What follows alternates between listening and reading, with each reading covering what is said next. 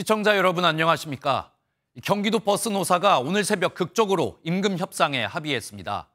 오늘 아침 출근길 대란이 우려됐지만 새벽 3시쯤 양측이 극적으로 합의를 이루면서 지금은 첫 차부터 정상 운행하고 있습니다. 첫 소식은 홍지호 기자가 전하겠습니다. 경기도 버스 노사는 13시간에 달하는 마라톤 회의를 거쳐 협상을 타결했습니다. 노사가 늦었지만 합의해서 오늘 버스가 정상 운행하게 됐습니다.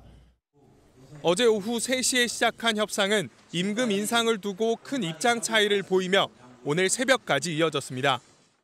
노조는 준공영제 버스 노선의 12.32%, 민영제 노선의 21.86%의 인상을 요구했고 사측은 5% 이상의 인상은 어렵다고 맞섰습니다.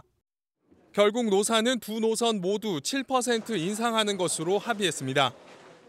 오늘을 잊지 않고 경기도 버스 노동자들이 다 같이 함께 할 수 있는 그런 경기도가 되기를 진심으로 바라면서 노사가 상생을 해서 우리 경기 버스가 좀 더 나은 버스가 될 수 있는 그런 길을 하나의 초석을 만들었다는. 당초 협상이 결렬되면 오늘 새벽 4시 첫 차부터 파업을 예고했지만 이번 협상 타결로 9,300여 대의 버스는 정상 운행되고 있습니다. 두 차례 회의장을 찾은 김동연 경기도지사도 감사의 뜻을 전했습니다. MBN 뉴스 홍지호입니다.